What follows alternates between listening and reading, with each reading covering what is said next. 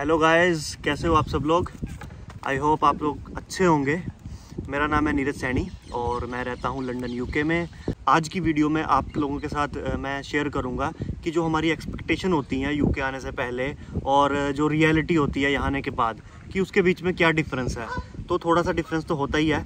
वो मैं आप लोगों के साथ मेरा पर्सनल एक्सपीरियंस शेयर करूँगा। मुझे यहाँ पे आए हुए सात महीने हो चुके हैं अभी। अभी अगस्त 2022 चल रहा है तो मुझे सात महीने हो चुके हैं। तो मैं मेरा एक्सपीरियंस शेयर करूँगा कि जो मैं पहले सोचता था कि मेरी लाइफ वहाँ पे जाके वैसी होगी वैसी होगी, और रियल में यहाँ पे आके क्या होता है? सबसे पहला पॉइंट है कि वहाँ पे जाके मुझे यूके जाके अच्छी जॉब मिल जाएगी। मैं एक्चुअली इंडिया में एक अच्छी कंपनी में एक इंजीनियर के तौर पे काम करता था। तो मेरा एक्सपेक्टेशन ये था कि मुझे यूके जाके भी एक अच्छी कंपनी में एक इंजीनियर की जॉब मिल जाए। तो वो मेरी एक्सपेक्टेशन बीस बाईस दिन में पूरी हो चुकी थी तो मुझे अच्छी जॉब मिल गई अच्छी कंपनी में।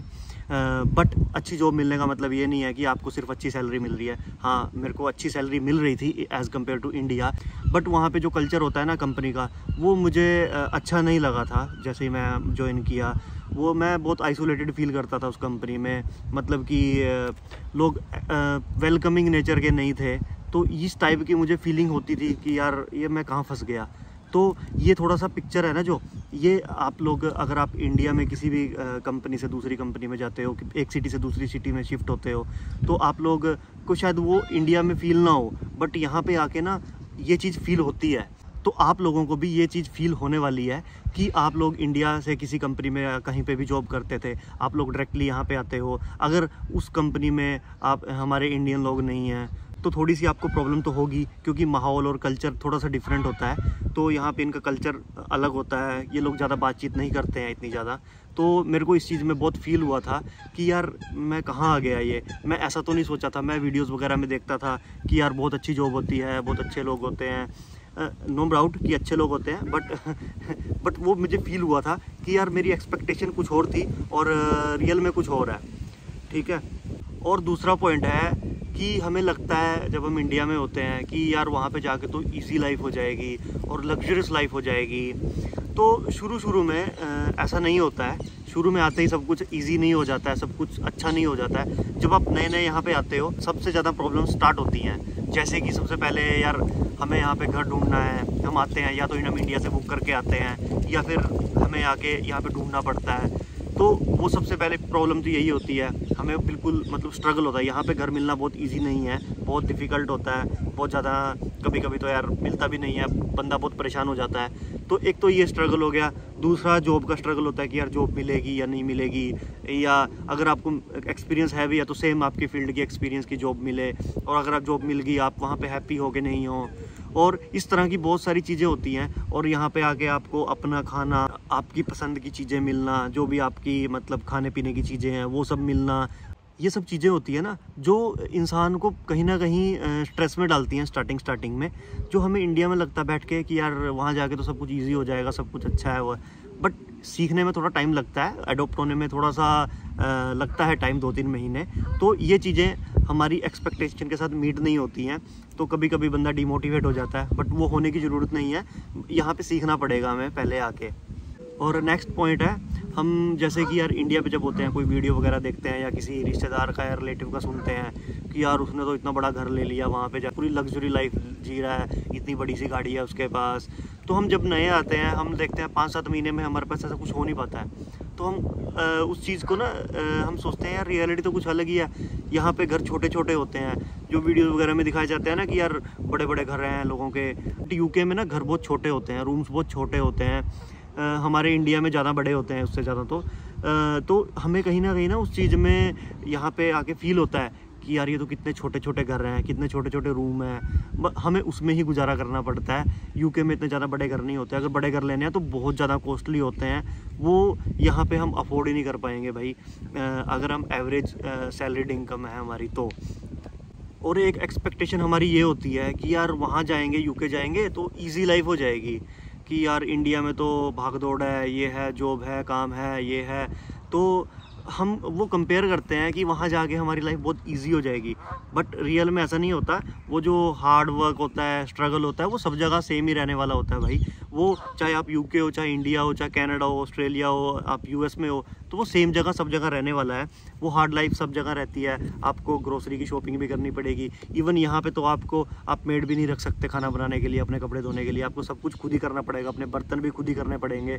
तो ये सब चीज़ें हैं और घर की साफ़ सफ़ाई भी खुद ही करनी पड़ेगी।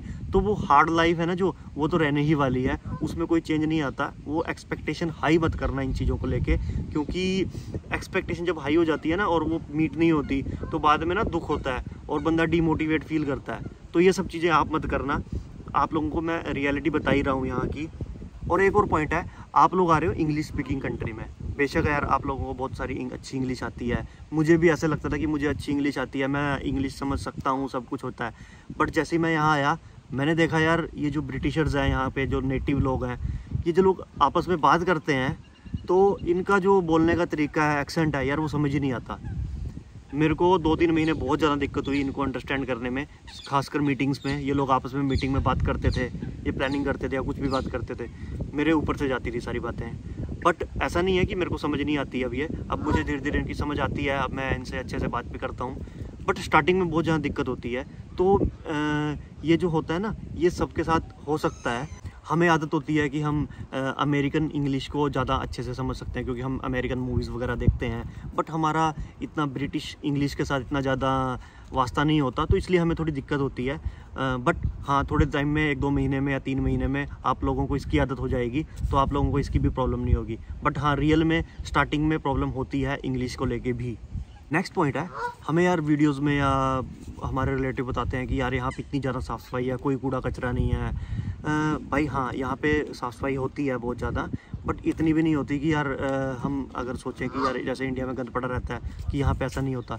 यहाँ पे भी होता है बट ये क्या है कि बार बार रेगुलर बेसिस पे साफ़ सफ़ाई करते रहते हैं इनकी काउंसिल इन चीज़ों का ध्यान रखती है।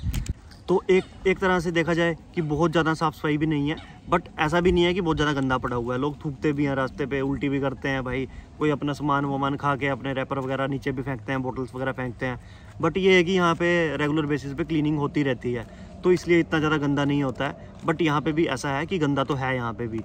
तो ये सब बातें मैंने आपको बताई कि यहाँ पर एक्सपेक्टेशन और रियलिटी में क्या क्या फ़र्क है।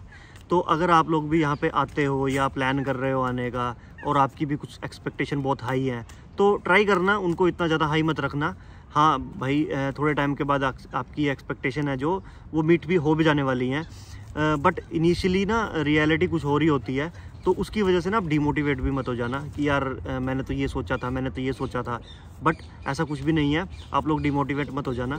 स्टार्टिंग के तीन चार महीने, पाँच महीने लगते हैं, थोड़ा सेटअप होने में। आप लोग एक कंट्री छोड़ के दूसरी कंट्री में आ रहे हो। आप लोग नया सेटअप कर रहे हो, एक स्क्रैच से स्टार्ट कर रहे हो। तो ये सब चीज़ें चलती रहती हैं।